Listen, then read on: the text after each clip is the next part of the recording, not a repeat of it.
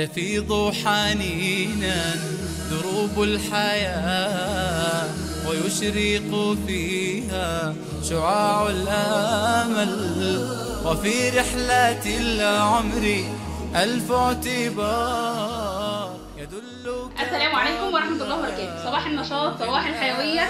زي ما طلبتوا مننا فيديوهات تنظيف فأنا بصراحة دي غرفة الأطفال وأنا بعمل فيها النهاردة تغيير.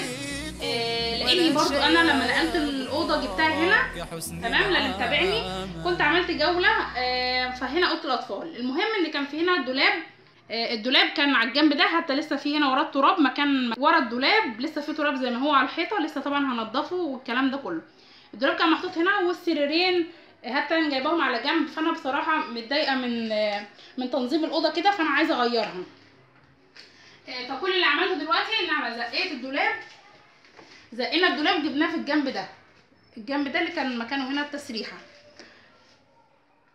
آه، زقينا طبعا الدولاب زي ما هو كده ما فكتش ولا عملت حاجة. أنا وزوجي ربنا يديه الصحة زقناه زي ما هو كده بالبطاطين اللي عليه بالهدوم اللي فيه بكل حاجة. زقناه كده وجبناه على الجنب ده. دلوقتي بقى هنضف ال- الحيط ده والجنب وهشوف كده هنظم السريرين إزاي وهفصل بينهم وأخلي فيه وسع وهوريكم برضو الشكل آه، أنا عملت إيه. وهعرض لكم برضو في الأول الأوضة كانت شكلها عاملة إزاي؟ الأول لما كان الدولاب هنا عشان ما تتوهوش مني. دي الحيطة اللي ورا الدولاب. أنا جبت الفرشة الناعمة كده ونزلت الأتربة الموجودة الأول على الحيطة. بعد كده طبعا مكان ركنة الدولاب فيه بقع أو لحمسة آه، ناشفة. زي ما أنتم شايفين كده طبعا دي لازم تتغسل معايا. آه، أنا جبت هنا عندي طبق وحطيت فيه شوية مية وحطيت شوية صابون مواعين وديتول فقط لا غير. ومعايا سبونشة. وهبتدي كده إن أنا أغسل معايا الحيطة وأجيب معايا فوطة وأنشف على طول. عشان ما بهدلش الدنيا عشان هو الجنب ده بس اللي هغسله معايا. هغسل كده وأنشف على طول بفوطة آه، مبلولة ومعصورة جامد.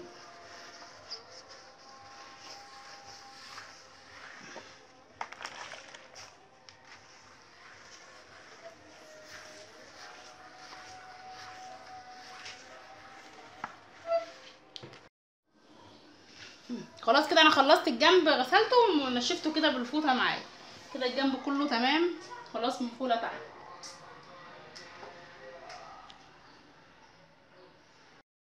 دلوقتي خلاص الجنب ده كده تمام الحيطة اتغسلت واتمسحت ومكان آه، الأرضية دي كمان اتمسحت. دلوقتي بقى هبدأ إن أنا أزق السرير أجيبه للجنب ده. آه، أنا جبت كده خلاص السرير على الجنب ده اللي هو كان مكانه هنا الدولاب. زي أنتم شايفين والسرير التاني في الجنب ده. كده في فاصل بينهم أو وسع. مسحت. هنشفها بقى كويس وهفرشها بقى. هفرش الأرضية. كده خلاص أنا خلصت ترتيب ال- الأوضة. هنا كده أول حاجة دي دخلت الباب.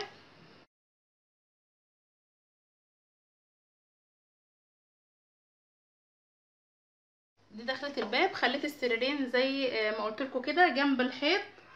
لازقين يعني جنب الحيط وفي وسع جامد بينهم. أنا هنا استغنيت عن التسريحه طلعتها بقى بره مش مشكلة. أنا كنت احطها هنا في النص يعني آه، مكان الكومودينو كده بس كانت هتضيق المكان حاجة بسيطة وبعدين ال- الإزاز بتاعها هيقفل الشباك. فمش مشكلة عندي أنا حطيتها برضو هناك في ال- الطرقة يعني مكانها كويس ولقيت لها مكان. وهوريكم برضو مكان التسريحة أنا حطيتها بره آه، برضو فين. وبالنسبة للتسريحة كده هنا الطرقة عندي المدخل آه، لغرفه النوم أنا حطيتها هنا وفي وسع يعني لقيت لها مكان ومظبوطة والحمد لله. وكده اداني وسع أكتر أنا كده مرتاحة أكتر يعني أنا مرتاحة كده نفسيا آه، لتغيير الأوضة. زي ما يكون بقى. والكومودينو كده بينهم وخلاص والدولاب حطيته هنا. برضو واخد وسع وفي وسع في المدخل والباب البلكونة بتفتح عادي مفيش أي مشاكل. هنا وسع أهو في الأول. أهم حاجة اداني كده وسع بين السريرين وفي وفي راحة. والدولاب هنا كده مكانه عشرة على عشرة ووسع قدامه كمان ما بينه وبين السراير يعني مفيش أي مشاكل والأوضة كده اتسعت معايا أحسن وأكتر. وكده تمام والحمد لله على كده. أي بقى تغييرات تانية هعملها؟ على فكرة أنا الفكرة دي كنت عايزاها كده يعني أنا كنت عايزة الدولاب فعلا يجي على الحيطة دي مكان التسريحة. حتى في واحدة من المتابعين قالت لي كده لما يوم ما شافت الأوضة. بجد أنا بشكركم جدا على أفكاركم الجميلة فخلتني اتشجعت إن أنا عملت الفكرة دي. قلت أنا هزق بقى الدولاب وأجيبه هنا وزي ما تيجي.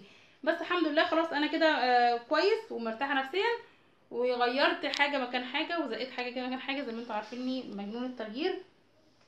آه، بتمنى أكون بقى أفدتكم. لو في أي حد عايز يغير حاجة ما يترددش وبدل حاجة مش تخسري أي حاجة والحاجة اللي تريحك هي اللي تسيبيها. آه، بشكركم على حسن المتابعة. إلى اللقاء في فيديو إن شاء الله. السلام عليكم ورحمة الله وبركاته.